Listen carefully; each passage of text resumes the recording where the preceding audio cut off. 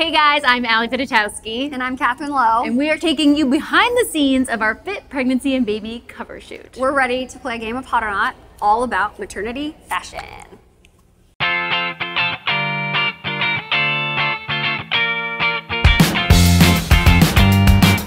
Hot. Hot! Yes! Hers is really hot.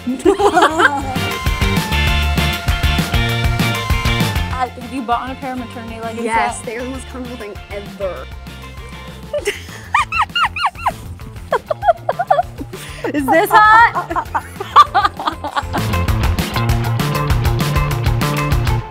Oh, hot. I'm, I don't, I mean, my boobs are getting bigger, but I'm more fitting. And if you get sewn in, you're hot. Not only are you hot, but you're baller. Go for it. True that.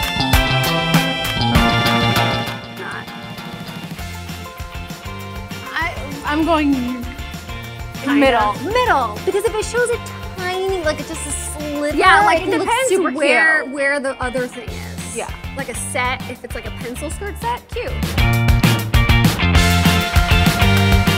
Oh, hot. Always.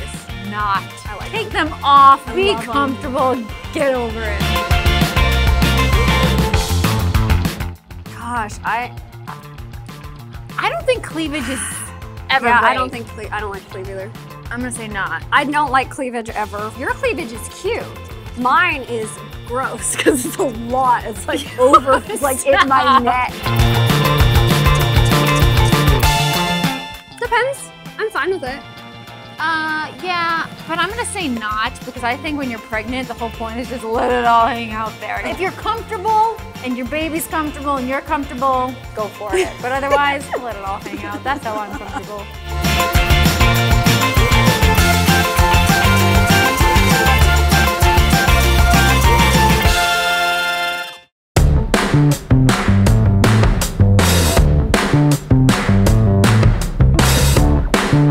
This is the first thing we've done since we became Riley's parents.